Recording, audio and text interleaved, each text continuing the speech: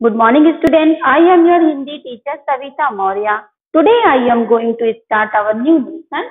पाठ चौदह फूल हमेशा मुस्काता जो कि एक कविता है बच्चों इस कव...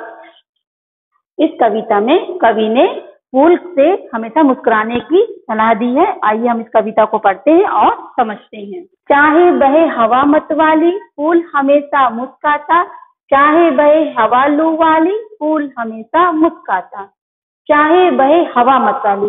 यानी कि चाहे हवा अच्छी चले, यानी मतवाली चलती है ना?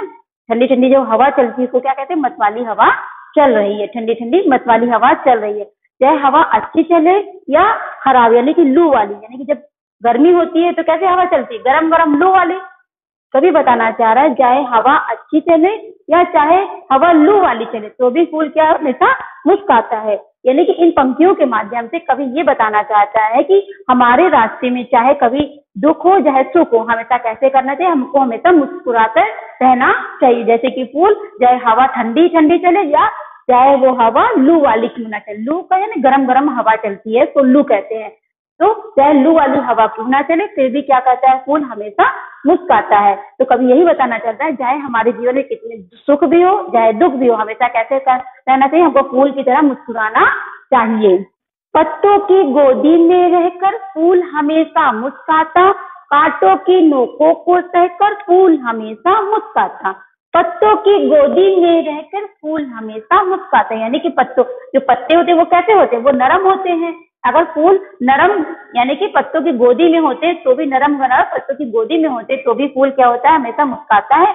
और अगर कांटों के नोको, यानी कि कांटों के नोक पर भी अगर फूल खिला रहता है तो भी मुस्काता है। यानी कि इन पंक्तियों में कभी ये बताना चाह रहा है कि फूल जो है, चाहे कितनी भी, अगर बहुत सुख है यानी कि उसको अच्छा अच्छा अगर वो अच्छा अच्छे से रह रहा है, सुख और शांति से तो भी क्या है, हमको मुस्कुराना चाहिए।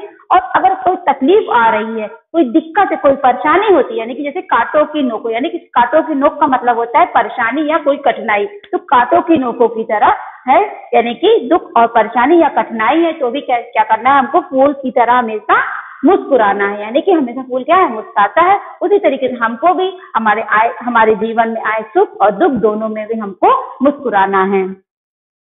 ऊपर है डाली पर खिलकर, फूल हमेशा मुस्काता नीचे टपक धूल में मिलकर, फूल हमेशा मुस्काता ऊपर है डाली पर खिलकर, यानी कि अगर पेड़ जो है ऊपर डाली पे अगर खिला है तो भी मुस्कुराता है। और अगर वो टूट के नीचे धूल में भी मिल जाता है तो भी क्या है?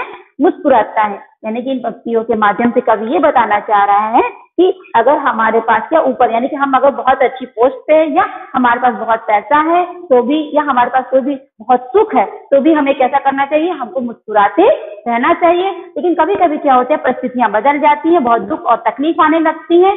यानी कि क्या?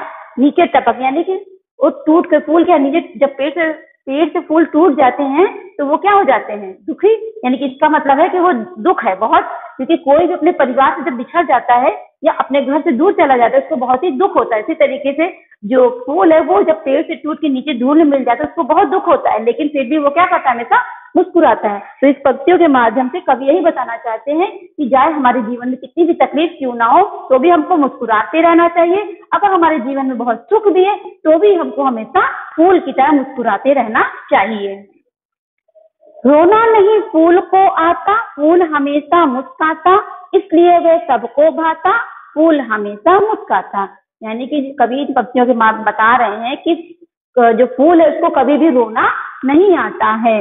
इसलिए जो है वो फूल जो है सबको बहुत पसंद होता है, यानी सबको बहुत भाता है। क्यों? क्योंकि फूल कभी भी रोते नहीं, वो हमेशा मुस्कुराते रहते हैं। चाहे वो पेड़ में लगे हों, चाहे वो पत्तों की गोदी में क्यों ना हो चाहे ठंडी ठंडी हवा हो तो भी मुस्कुराते हैं। और चाहे वो धूल भरी हवा में भी हो तो भी मुस्कुराते हैं। ज़मीन में धूप में मिल जाते हैं तो भी हमेशा मुस्कुराते हैं। इसीलिए फूल जो है सबको हमेशा पसंद आते हैं, क्योंकि फूल हमेशा मुस्कुराता है। इसीलिए सभी को फूल क्या कहते हैं, भाते हैं, पसंद आते हैं। तो जो कवि है, इन पक्षियों के माध्यम से ये बताना चाहते हैं कि जो व्यक्ति हमेशा हंसता और मुस्कुराता रहता है, तकलीफ़ में भी उसको हर व्यक्ति पसंद करते हैं। लेकिन जो व्यक्ति हमेशा रोते रहता है, उसको कोई भी व्यक्ति पसंद नहीं करता है।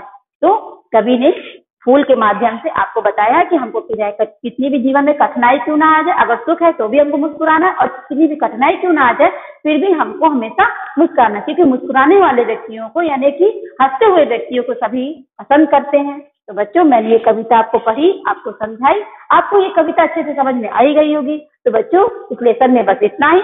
अगला टॉपिक हम अपने नेक्स्ट वीडियो में पढ़ेंगे। तब तक के लिए आप घर पे रहिए और सुरक्षित रहिए।